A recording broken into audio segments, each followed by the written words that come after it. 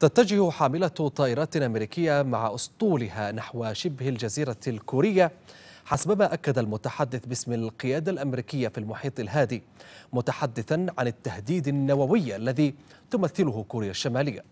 هذا وقد أمرت القيادة الأمريكية في المحيط الهادي مجموعة كارل فانسون القتالية بأن تكون تحت التصرف وتكون موجودة في غرب المحيط الهادئ وذلك كإجراء احتياطي.